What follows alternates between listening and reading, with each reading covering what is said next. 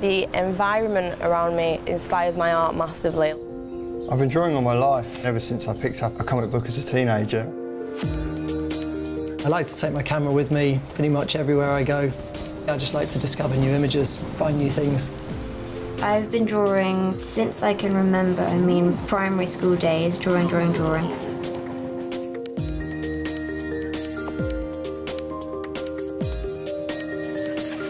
I picked up the interest quite quickly. I think it opens up more options. It just gives you a much greater level of control than I'm used to. From the moment I picked it up, it was just so simple. Plug it in and just go.